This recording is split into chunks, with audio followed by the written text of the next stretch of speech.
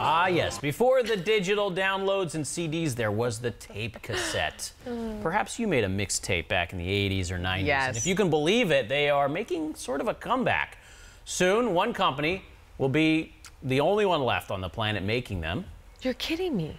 Team 12's Taylor Hemnes takes us for a trip through the past and into the future. Plus, play record right now. The building was built in the 1880s. Most of the equipment inside built in the 1960s, 70s, 80s. And as we say, our really new equipment was built in the early 90s. But try telling the folks at National Audio that their product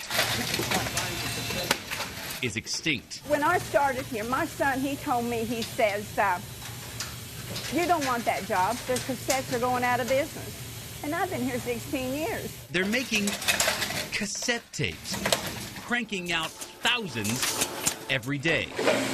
Every step includes a process or piece of equipment that feels like it's from another time. It will run them through, put the cellophane wrap on them, bring them out this end, and put them here. They're working with small bands that you may have never heard of, but also big companies.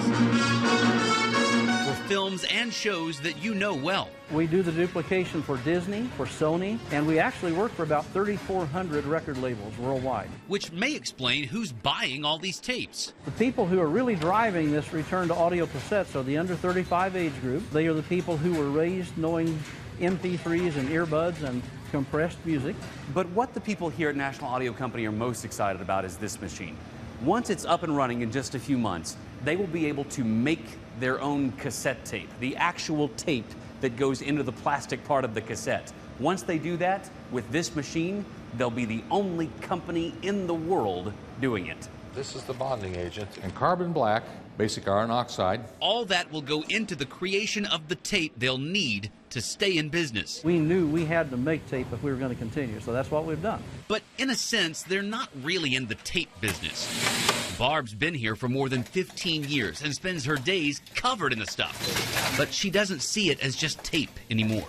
This is somebody's dream, and uh, I hope it works out for him. Even if she's happy to leave those dreams at work. Oh, I don't listen to music when I get out of here. I want some peace and quiet. she used to listen to it constantly. I remember my first cassette tape was Gloria Estefan. Now that is classic. Oh, oh my gosh. My- Come on, baby. Do that rumba. Yeah, yeah, yeah. I loved it. Yeah, mine was Pearl Jam 10.